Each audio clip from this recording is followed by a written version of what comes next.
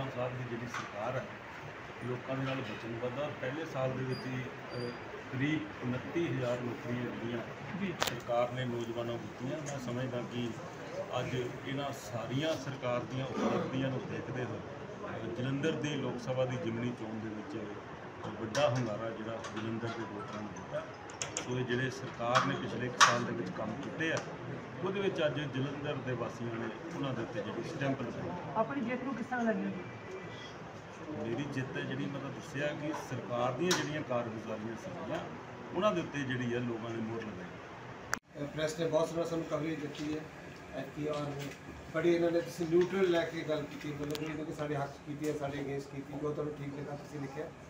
ਔਰ ਅਸੀਂ ਬਹੁਤ ਸ਼ੁਕਰਗੁਜ਼ਾਰ ਹਾਂ ਜਲੰਧਰ ਦੀ ਸਭ ਜਨਤਾ ਦੇ ਜਿਨ੍ਹਾਂ ਨੇ ਸਾਨੂੰ ਵੋਟ ਪਾ ਕੇ ਔਰ ਮਾਨ ਸਾਹਿਬ ਦੀ ਨੀਤੀਆਂ ਜਿਹੜੀਆਂ, ਉਹਨਾਂ ਤੇ ਉਹਨਾਂ ਨੇ ਵਿਸ਼ਵਾਸ ਜਿਹੜਾ ਉਹ ਜਤਾਇਆ। ਔਰ ਅਸੀਂ ਇਹਦਾ ਜਿੱਤ ਦਾ ਸਾਨੂੰ ਬੜਾ ਵਾਅਦਾ ਹੋਣਾ ਕਿ ਅਸੀਂ ਦੁਗਨੇ ਤਿਗਨੇ ਹੌਸਲੇ ਨਾਲ ਕੰਮ ਕਰਾਂਗੇ। ਹੁਣ ਮਾਨ ਸਾਹਿਬ ਨੇ ਜਿਹੜੀ ਆਪਣੀ ਕੈਬਨਿਟ ਮੀਟਿੰਗ ਹੈ ਨੈਕਸਟ ਵੀਕ ਕੱਲ ਅੰਮ੍ਰਿਤਸਰ 'ਚ ਜਲੰਧਰ ਰੱਖ ਲਈ ਹੈ। ਔਰ ਉਹਦੇ ਬਾਅਦ ਉਹਨਾਂ ਨੇ ਮਿਲਣਾ ਵੀ ਹੈ, ਜਨਤਾ ਨੂੰ ਮਿਲਣਾ।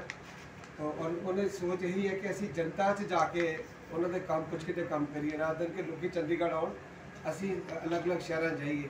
ਸੋ ਜਿਹੜੀ ਲਾਸਟ ਸਾਡੀ ਕੈਬਨਿਟ ਮੀਟਿੰਗ ਸੀ ਲੁਧਿਆਣੇ 'ਚ ਹੋਈ ਸੀਗੀ ਉੱਥੇ ਵੀ ਸੰਗਤ ਤੋਂ ਮਿਲੇ ਸੀਗੇ ਲੇਕਿਨ ਘੱਟ ਲੈਵਲ ਤੇ ਤੇ ਕੱਲ ਤੇ ਵੱਡੇ ਲੈਵਲ ਤੇ ਵੀ ਸੰਗਤ ਤੋਂ ਮਿਲਣਾ ਸੀ ਕੈਬਨਿਟ ਮੀਟਿੰਗ ਕਮਾਨਾ ਜੀ ਜਿਹੜਾ ਪ੍ਰੋਗਰਾਮ ਹਾਂਜੀ।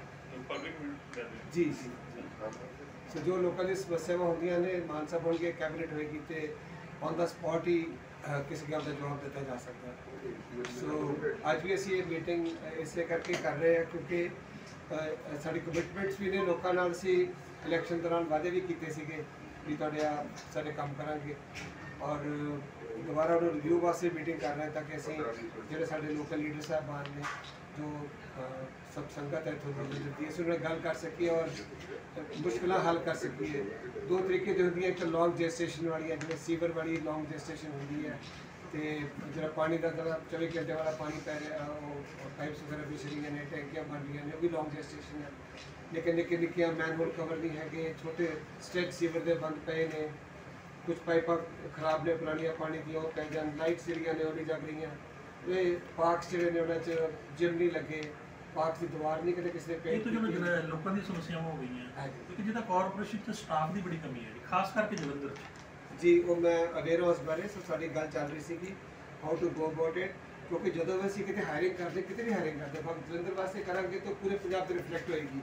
ਫਿਰ ਸਾਨੂੰ ਬਾਕੀ ਸ਼ਹਿਰਾਂ 'ਚ ਨਹੀਂ ਉਹ ਨਹੀਂ। ਜਿਹਦਾ ਪੋਸਟ ਫਿਲ ਕਰਨ ਦੀ ਗੱਲ ਹੁੰਦੀ ਨਾ ਜਿਹਦਾ ਹੁਣ ਪਟਿਆਲਾ ਹੈ ਪਟਿਆਲਾ 'ਚ ਇਸ ਵੇਲੇ ਘੱਟੋ ਘੱਟ 10-15 ਬਿਲਡਿੰਗ ਇੰਸਪੈਕਟਰ ਹੋਣਗੇ। ਐਡਾ ਵੱਡਾ ਜਲੰਧਰ ਹੈ ਤੇ ਤਿੰਨ ਜਾਂ ਚਾਰ ਹੈ।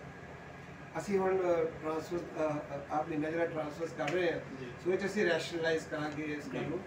ਕਿ ਜਿੱਥੇ ਸ਼ਾਰਟੇਜ ਹੈ ਉੱਥੇ ਪੂਰੀ ਹੋ ਜਾਏ। ਵੱਡੇ ਸ਼ਹਿਰ ਜਿਵੇਂ ਕਿ ਲੁਧਿਆਣੇ ਸਭ ਤੋਂ ਬਹੁਤ ਚੀਜ਼ ਸਾਨੂੰ ਪਾਲਿਸੀਜ਼ ਨੂੰ ਉਡੀਕ ਰਹੇ ਜਿੱਦਾਂ ਕੋਲੋਨਾਈਜ਼ਰਸ ਨੇ ਉਹ ਇਲੀਗਲ ਪਾਲਿਸੀ ਜਿੱਦਾਂ ਬਿਲਡਿੰਗ ਦੀ ਉਡੀਕ ਰਹੇ ਆ। ਇੱਕ ਜ਼ੋਨਿੰਗ ਪਾਲਿਸੀ ਹੈ ਜਿੱਦਾਂ। ਹਾਂਜੀ ਅਸੀਂ ਕਰ ਰਹੇ ਹਾਂ ਜੀ। ਈਵਨ ਮੈਂ ਵੀ ਦੱਸਿਆ ਸੀਗਾ ਕਿ ਅਸੀਂ ਇਸ ਤੇ ਵਰਕ ਕਰ ਰਹੇ ਕਿ ਜਿਹੜੇ ਪੰਜ ਚੌਂਕ ਦਾ ਘਰ ਨੇ ਉਹ ਨਕਸ਼ਾ ਤੁਹਾਨੂੰ ਸਬਮਿਟ ਕਰਨਾ ਪਏਗਾ ਇਹ ਪੋਰਟਲ ਜਿਹੜਾ ਤੁਹਾਡਾ ਨਕਸ਼ਾ ਹੈ ਨਕਸ਼ਾ ਪੋਰਟਲ ਹੈ ਨਾ ਜੀ ਜਿਹੜਾ ਇਹ ਨਕਸ਼ਾ ਉਹਦੇ 'ਚ ਬੜੀਆਂ ਸਮੱਸਿਆਵਾਂ ਹੈ। ਹਾਂ ਮੈਨੂੰ ਅਸੀਂ ਅਵੇਅਰ ਹਾਂ ਉਹਦੇ ਬਾਰੇ। ਤੁਹਾਡੇ ਕੋਲ ਇੱਕ ਦੋ ਐਸੋਸੀਏਸ਼ਨ ਵੀ ਪਹੁੰਚੀ ਇਸ ਪ੍ਰੋਬਲਮ ਕਿ ਐਨਓਸੀ ਔਰ ਨਕਸ਼ਾ ਆਨਲਾਈਨ ਜਿਹੜਾ ਹੈਗਾ। ਜੇ ਜਦੋਂ ਤੱਕ ਕਿਸੇ ਨਾ ਕਿਸੇ ਲੈਵਲ 'ਤੇ ਨੌਕ ਨਹੀਂ ਹੋ ਤਾਂ 6-6 ਮਹੀਨੇ ਉਹਨੂੰ ਟੱਚ ਨਹੀਂ ਕਰਦੇ। ਸਟਾਫ ਜਿਹੜੇ ਹਾਇਰਾਰਕੀ ਚ ਹੈਗੇ, ਇਹ ਤਾਂ ਆਫਲਾਈਨ ਤੋਂ ਵੀ। ਭੈੜਾ ਸਿਸਟਮ ਹੋ ਗਿਆ। ਨਹੀਂ ਅਸੀਂ ਪਹਿਲੇ system ਨਹੀਂ ਖੁੱਲਦਾ ਜੀ, ਉਹ ਕਿੰਨੇ ਕਿੰਨੇ ਇਸ ਤਰ੍ਹਾਂ ਨਹੀਂ ਹੈ ਮੈਂ ਕਿਉਂਕਿ ਮੈਂ ਵੀ ਮਿਲਦਾਰੀ ਨਾਲ ਸਭ ਨੂੰ। ਤੇ ਸਰ ਉਹਦਾ ਟਾਈਮਲਾਈਨ 30 ਦਿਨ ਦਾ ਹੈ। 30 ਦਿਨ ਚ ਕਿਉਂ ਨਹੀਂ ਪਾਸ ਹੁੰਦਾ? ਆਪਾਂ 80% ਨਹੀਂ ਹੁੰਦਾ ਇਹ- 80% ਨਹੀਂ ਅਸੀਂ ਹੁੰਦਾ। ਅਸੀਂ ਇਸ ਤੇ ਕੰਮ ਕਰ ਰਹੇ ਹਾਂ। ਪਰ ਜਿਵੇਂ ਮਜਬੂਰੀ ਸਾਡੀ ਹੈ ਕਿ ਸਾਨੂੰ ਵੀ ਸਾਰਾ ਸਿਸਟਮ ਜਿਹੜਾ ਨਾ ਮਤਲਬ ਪਿੰਕ ਆਫ ਪਰਫੈਕਸ਼ਨ ਨਹੀਂ ਮਿਲਿਆ ਹੋਇਆ ਤੋਂ। ਇਨ ਦਾ ਸੈਂਸ ਕਿ ਜੇ ਅਸੀਂ ਇੰਪਰੂਵਮੈਂਟ ਟਰਸਟ ਛੇੜ ਕੇ ਬਹਿ ਜਾਈਏ ਤੇ ਕਿਸੇ ਵੀ ਫਾਈਲ ਨੂੰ ਖੋਲਦੇ ਆ ਤੇ ਉੱਥੇ ਨਾ ਕੁਝ ਖੁੱਲ ਜਾਂਦਾ ਕਿ ਅੱਗੇ ਬੰਦਾ ਸੋਚਦਾ ਮੈਂ ਕੰਮ ਕੀ ਕਰਾਂ। ਹੁਣ ਤਾਂ ਸੂਰਿਆ ਕਲੇਅਰ ਵਾਲੇ ਆਏ ਸੀਗੇ ਐਕਸਟੈਂਸ਼ਨ ਵਾਲੇ। ਤੇ ਸਾਡੇ ਕੋਲ ਮਿਲ ਕੇ ਗਏ ਨੇ ਉੱਥੇ ਆ ਕੇ ਮਾਨ ਸਾਹਿਬ ਦਾ ਕਮਿਟਮੈਂਟ ਸੀ ਕਿ ਬਾਅਦ ਚ ਮਿਲਾਂਗੇ। ਬੜੇ ਖੁਸ਼ ਹੋਏ। ਕਹਿੰਦੇ ਸਾਡੀ ਕਿਸੇ ਦੀ ਗੱਲ ਹੀ ਨਹੀਂ ਸੁਣੀ। ਸਮੱਸਿਆ ਹੱਲ ਹੋਣੀ ਨਾ ਹੋਣੀ ਕਿਤੇ ਬਾਅਦ ਦੀ ਗੱਲ ਹੈ ਤੁਸੀਂ ਸਾਡੀ ਗੱਲ ਸੁਣ ਲਈ ਸਾਨੂੰ ਪਹਿਲੀ ਖੁਸ਼ੀ ਇਹੀ ਹੈ। ਔਰ ਅਸੀਂ ਉਹਨਾਂ ਦਾ ਬਿਲਕੁਲ ਅਸੀਂ ਕਿਹਾ ਰੈਸ਼ਨਲ ਰੈਸ਼ਨਲਾਈਜ਼ ਕਰਾਂਗੇ ਜੋ ਤੁਹਾਡੇ ਕੋਲ ਚਾਰजेस ਲੈ ਰਹੇ ਹੋ ਤਰੀਕੇ ਨਾਲ ਲਾਂਗੇ। ਇਹ ਨਹੀਂ ਕਿ ਬਲਾਈਂਡਲੀ 12% ਲਾਤਾ ਫਿਰ ਕੰਪਾਊਂਡ ਇੰਟਰਸਟ ਲਾਤਾ। ਸੋ ਇਸ ਤਰ੍ਹਾਂ ਨਹੀਂ ਕਰਾਂਗੇ। ਲਾਈਕ ਆਈ ਸੈਡ ਕਿ ਕੰਸਟ੍ਰੇਂਟਸ ਦੇ ਨਾਲ ਅਸੀਂ ਬੈਸਟ ਪੋਸੀਬਲ ਕੰਮ ਕਰਨ ਦੀ ਕੋਸ਼ਿਸ਼ ਕਰ ਰਹੇ ਹਾਂ। So let me assure you ਕਿ ਜਿਹੜਾ ਇਹ ਨਕਸ਼ਾ ਹੈ ਅਸੀਂ ਇਹਨੂੰ ਹੋਰ ਬਹੁਤ ਚੰਗੀ ਤਰ੍ਹਾਂ ਇੰਪਰੂਵ ਕਰਨਾ ਐਂਡ ਅਸੀਂ ਹੈਲਪ ਕਰ ਰਹੇ ਜਿਹੜਾ ਸਾਡਾ ਗਵਰਨਮੈਂਟ ਦੀ ਤੁਸੀਂ ਸਿਸਟਮ ਉਹਨੂੰ ਇੰਪਰੂਵ ਕਰਨ ਦੀ ਗੱਲ ਕਰੋ। ਮੈਂ ਕਹਿ ਰਿਹਾ ਕਿ ਮੈਂ ਅਪਲਾਈ ਕਰਤਾ।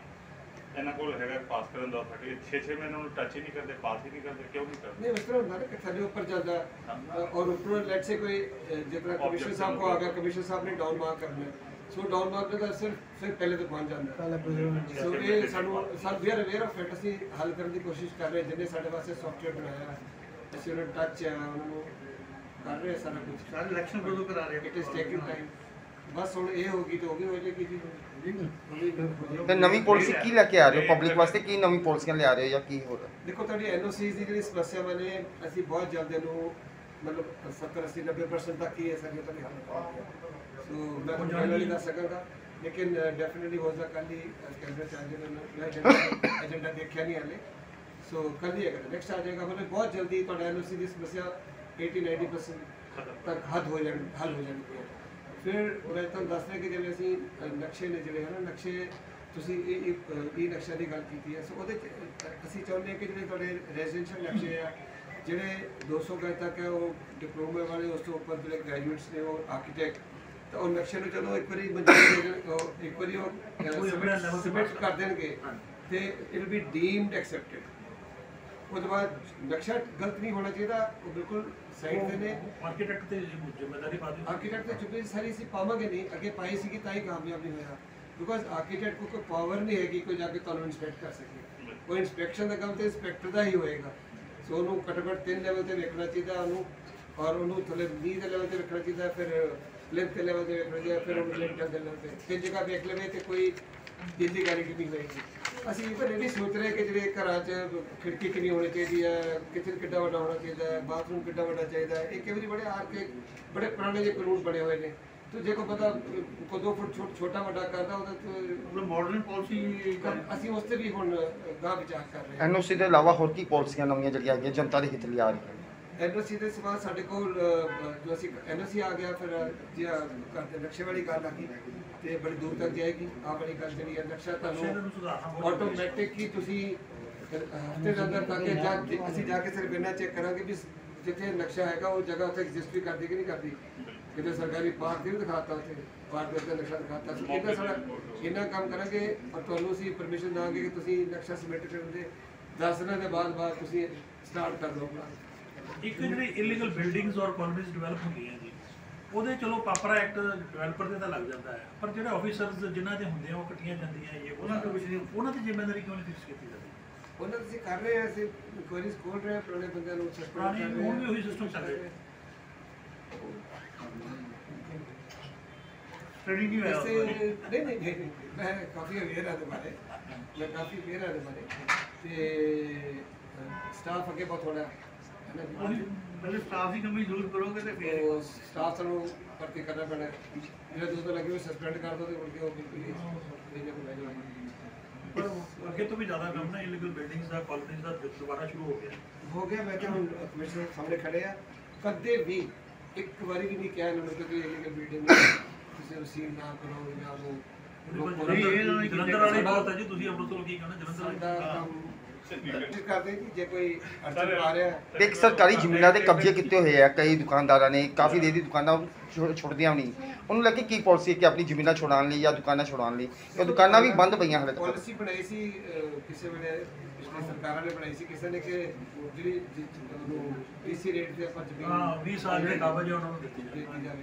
ਸੋ ਉਹ ਤੇ ਦੁਬਾਰਾ ਰੀਥਿੰਕ ਕਰ ਸਕਦੇ ਹਾਂ ਕੁਝ ਇਹ ਹੋਏਗਾ ਇਹ ਨਹੀਂ ਕਰਾਂਗੇ ਕਿ ਮਾਰਕੀਟ ਤੋਂ ਬਹੁਤ ਘੱਟ ਤੇ ਦੇ ਦਾਂਗੇ ਅਸੀਂ ਮਤਲਬ ਰੀਜ਼ਨੇਬਲ ਵੀ ਹੈ।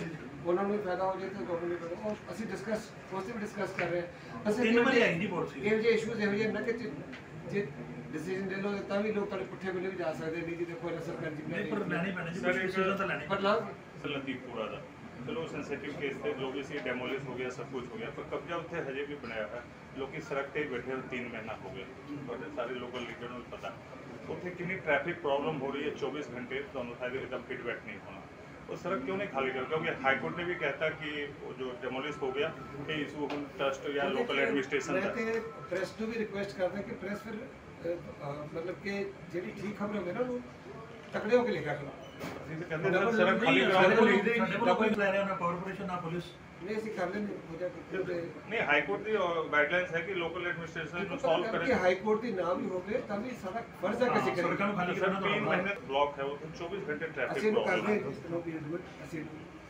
ਸ਼ਹਿਰ ਦੀ ਸਫ਼ਾਈ ਵਿਵਸਥਾ ਲੈ ਕੇ ਕੀ ਪਾਲਿਸੀ ਹੈਗੀ ਆ ਕਾਫੀ ਵੀ ਵੀ ਬੁਰਾ ਹਾਲ ਹੈ। ਕਈ ਏਰੀਆ 'ਚ ਡੰਪ ਵਾਸਤੇ ਸਾਡੇ ਜਿਹੜੇ ਅਸੀਂ ਇਸ ਸਾਲ ਤੱਕ ਜਿੰਨੇ ਸਾਡੇ ਵੱਡੇ ਵੱਡੇ ਚਾਰ ਪੰਜ ਸ਼ਹਿਰ ਛੱਡ ਕੇ, ਜੇ ਅਸੀਂ ਅੰਮ੍ਰਿਤਸਰ, ਜਲੰਧਰ, ਲੁਧਿਆਣਾ ਲੈ ਲਾਂਗੇ ਇਹਨਾਂ ਨੂੰ ਛੱਡ ਕੇ, ਬਾਕੀ ਸਭ ਦਾ ਅਸੀਂ ਜਿਹੜੇ ਡੰਪ ਲੈਗੇਸੀ ਬੇਸ ਸਾਡੀ ਜ਼ੀਰੋ ਹੋ ਜਾਏਗੀ ਐਸਾ ਤੇ ਇਹਨਾਂ ਦੀ ਵੀ ਸਾਡੀ ਸਮੱਸਿਆਵਾਂ ਥੋੜੀ ਵੱਡੀਆਂ ਨੇ, ਅਸੀਂ ਲੱਗੇ ਹੋਏ ਕਰ ਰਹੇ ਇਸ ਤੇ। ਲੁਧਿਆਣਾ ਦੇ ਵਿੱਚ ਜੇ 5 ਲੱਖ ਟਨ ਦਾ ਅਸੀਂ ਕੀਤਾ ਸੀਗਾ ਕੰਟਰੈਕਟ ਕੀਤਾ ਸੀ, ਉਹਦਾ ਸਾਫ਼ ਕਰ ਰਹੇ ਨੇ ਉਹ। ਸਾਲ ਦੇ ਅੰਦਰ ਅੰਦਰ ਹੋ ਜਾਏਗਾ। ਜਿਹੜਾ ਬਾਕੀ ਦਾ ਬਚਦਾ ਇੱਥੇ 15 ਲੱਖ ਟਨ ਤੋਂ ਉੱਪਰ ਹੈ। 10 ਲੱਖ ਟਨ ਤਾਂ ਜਲੰਧਰ ਦਾ ਹੀ ਹੈ ਹਾਂਜੀ ਮੈਂ ਜਿੱਥੇ ਤੇ ਹੋਈ ਜਾਣ ਮੈਂ ਕਰ ਜਾਣੀ ਜਲੰਧਰ ਦਾ ਅਸੀਂ ਲਗਾਇਆ ਸੀਗਾ ਤੇ ਕਮਿਸ਼ਨ ਸਾਹਿਬ ਇਹ ਕਰੋ ਦੁਬਾਰਾ ਆਏ ਨਹੀਂ ਆਪਣੇ। ਜੀ ਪ੍ਰੋਬਲਮ ਸੋ ਇਹ ਜਿਹੜੀ ਲੈਗੇਸੀ ਬੇਸ ਇਹ ਲੈਗੇਸੀ ਇਸ਼ੂਜ਼ ਜਿਹੜੇ ਇਹ ਬਹੁਤ ਤੰਗ ਕਰਦੇ ਆ। ਉਹਨਾਂ ਲੈਗੇਸੀ ਇਸ਼ੂਜ਼ ਤੁਹਾਨੂੰ ਗਾਹ ਸੋਚਣੋਂ ਬੜਾ ਮਜਬੂਰ ਕਰਦੇ ਆ। ਪਰ ਇਹ ਮੈਂ ਤੁਹਾਨੂੰ ਅਸ਼ੋਰ ਕਰਦਾ ਕਿ ਅਗਲੇ 6 ਮਹੀਨਿਆਂ 'ਚ I can assure you of this ਕਿ ਤੁਹਾਨੂੰ ਅਸੀਂ ਤੁਹਾਡੇ ਸੀਵਰ ਸਾਫ਼ ਕਰਾਂਗੇ ਸ਼ਹਿਰ ਦੇ। ਤੇ ਪਾਣੀ ਪੀਣ ਵਾਲਾ ਪਾਣੀ ਜਿਹੜੀਆਂ ਤੁਸੀਂ 6 ਮਹੀਨੇ ਪਹਿਲਾਂ ਜੈਟਿੰਗ ਮਸ਼ੀਨਸ ਦਿੱਤੀਆਂ ਸੀਗੀਆਂ ਜੀ। ਉਹਨਾਂ ਦੇ ਡਰਾਈਵਰ ਹੀ ਨਹੀਂ ਅਪਾਇੰਟ ਹੋਏ ਜੀ ਡਰਾਈਵਰ ਡਰਾਈਵਰ ਨਹੀਂ ਕਰ ਰਹੇ। ਅਸੀਂ ਉਹਨਾਂ ਨੂੰ ਕੰਪਨੀ ਹਾਇਰ ਅਸੀਂ ਉਹ ਟੈਕਨੀਕਲ hire ਟੈਕਨੀਕਲ ਹੋਇਆ ਨਹੀਂ ਜੀ ਸਮਾਰਟ ਸਿਟੀ ਨੂੰ ਲੈ ਕੇ ਜਿਹੜੇ ਸੈਂਟਰ ਦੇ ਮਿਨਿਸਟਰ ਜਿੰਨੇ ਵੀ ਆਏ ਨੇ ਉਹ ਕਹਿੰਦੇ ਸਮਾਰਟ ਸਿਟੀ ਦਾ ਜਿਹੜਾ ਪੈਸਾ ਸੀ ਮਿ- ਉਹਦਾ ਸਹੀ ਇਸਤੇਮਾਲ ਨਹੀਂ ਹੋਇਆ ਜੀ। ਨਹੀਂ ਪੈਸਾ ਲੱਗਾ ਤੇ ਹੈ ਹੀ ਹੈ। ਇਹ ਹੈ ਕਿ ਜਿਹੜਾ ਕੰਮ ਹੋਇਆ ਪ੍ਰੋਬਬਲੀ ਸੈਟੀਸਫੈਕਸ਼ਨ ਦਾ ਨਹੀਂ ਹੋਇਆ ਹੋਏਗਾ। ਉਹ ਜਾ ਕੇ ਇਨਕੁਆਇਰੀ ਲੱਗੀ ਸਮਾਂ ਉਹਦੇ ਚ ਵਿਜੀਲੈਂਸ ਤੋਂ